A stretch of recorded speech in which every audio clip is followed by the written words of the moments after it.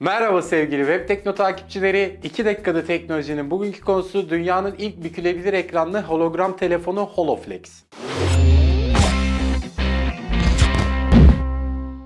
Aslında bundan birkaç yıl öncesine kadar bu hologram telefonların çalışmaları başlamıştı. Hatta biz isimlerini duymuştuk. Ama HoloFlex'in özelliği hem hologram hem de bükülebilir bir yapıda olması. Ayrıca şunu da hemen belirtelim. Bu cihaz ilk olarak Kaliforniya'da sergilendi.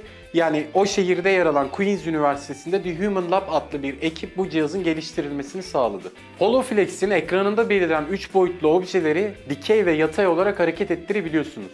Konusu açılmışken Full HD bükülebilir OLED ekranı bulunan HoloFlex, 12 piksel çözünürlüğündeki dairesel bloklar ve 16.000 bağımsız balık gözü lensiyle holografik görüntünün oluşmasını sağlıyor. Tabi bu işin şöyle bir cabası var. Ha, telefonu hangi açıdan tutarsanız tutun bu görüntüleri elde edebiliyorsunuz. Şimdi biraz daha kafanızda netleşmesi için bu bükülebilir OLED ekranı size şöyle anlatayım. Hepinizin bildiği bir oyun var Angry Birds.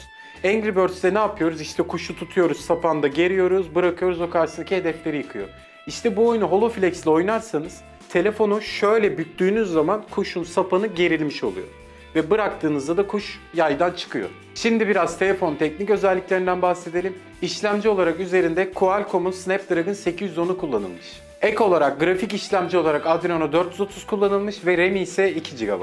İşletim sistemi ise Android 5.1 ve çözünürlüğü de 1920'ye 1080.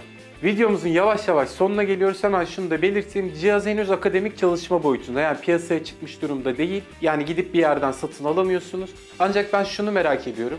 Bu kadar düşük çözünürlükte sırf ilginç diye bu telefonu satın alır mıydınız ve ne kadar verirdiniz diyerekten sizlere vermiş olduğumuz 2 dakika sözünü tutabilmek için hızlıca buradan kaçıyorum. Kendinize çok iyi bakın. Hemen yan tarafımda bulunan videoya tıklayarak dünyanın en küçük kameralı ajan drone ile yaşadığımız macerayı izleyebilirsiniz. Ayrıca hemen altında abone ol butonu var. Ona da tıklarsanız kanalımıza abone olursunuz.